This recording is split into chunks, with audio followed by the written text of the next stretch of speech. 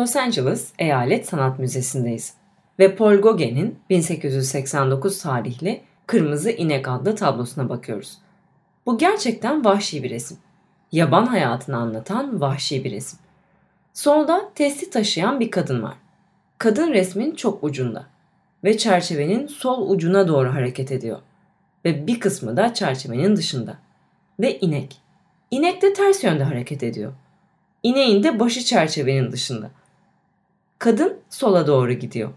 Ve dikkati ilk çeken de kadının kendisi. Ama sonra kadın sahneden ayrılıyor. Bu ayrılış çok dikkat dağıtıcı. Muhtemelen inek de hafifçe sağa doğru hareket ediyor. Küçük bir köpek var. Köpek ineği takip ediyor gibi. İneğin ve köpeğin arkasında çit var ve onları ön plana taşıyor. İneğin turuncu ve pembe karışımına çalan kırmızılığı ile muhteşem yeşil arasında mükemmel bir renk karşıtlığı var. Çimenler. İnekteki tüm renkler ön plandaki çiçeklerde de görülüyor. Bu çiçekler özenle renklendirilmişler. Bu Gauguin'e göre alışılmamış bir şey. Kadının üst vücudu bize doğru eğiliyor. Turuncu yine görülüyor. Testiyi tutuşu ve gözleri özenle çizilmiş.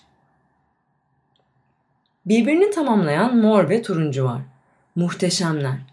Ressam bilinçli olarak birbirini tamamlayan renkler kullanmış. Burada oldukça fazla ayrıntı var. Mesela kadının eğildiğinde yüzünde oluşan ışıktaki özene bakın. Gölge ve yansımalar da özenli. Bu resimde bazen ışık var, bazense yok. Işık resmin tamamında hiç de aynı şekilde atmosferik kullanılmamış. Işığa bu yaklaşım kesinlikle empresyonistlerin ışığa yaklaşımından farklı. Bu manzarada güneş ışığı var. Kadının yüzüne vuran ışık da var. Gölgeler de var ama bir atmosfer hissi yok.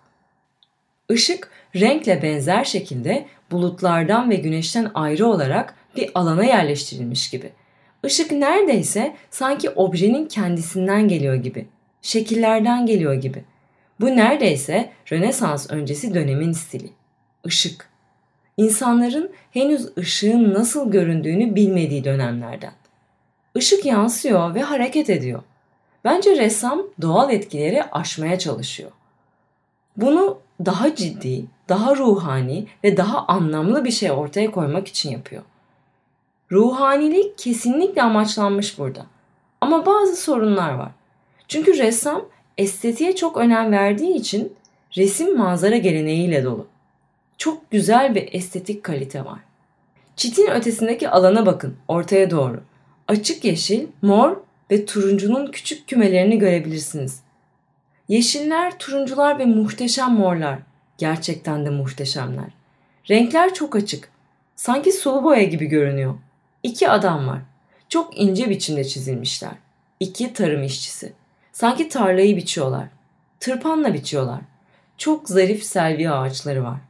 Bu resim ressamın Güney Fransa'da bulunduğu bir dönemden olabilir. Sondaki ağaçlar çok soyutlanmış. Sadece dikey şekiller ve sonra da bulutlar geliyor. Ve çok basit şekiller.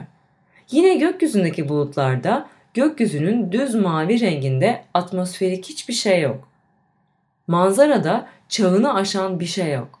Bu kafamı karıştırıyor. Belki de ressamın istediği buydu. Kendine özgürlük. Öndeki manzaranın sıradan gündelikliği, resimdeki kadın ve inek bana Fermier'i hatırlatıyor. Bu manzara sanki sihirli. Ağacın dalında çok açık bir ayrım var. Ruhani olan, fiziksel olandan, içinde yaşadığımız düzlemden ayrılıyor. Biz ayrılığın çitin bu tarafında duruyoruz. Gauguin kesinlikle bu iki alanı bölmüş. Bu oldukça güzel bir resim.